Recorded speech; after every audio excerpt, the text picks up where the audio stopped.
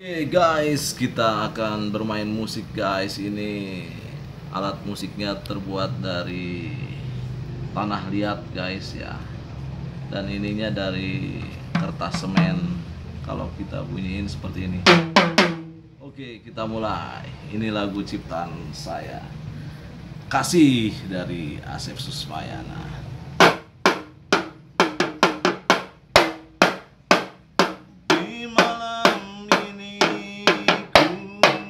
Bandiri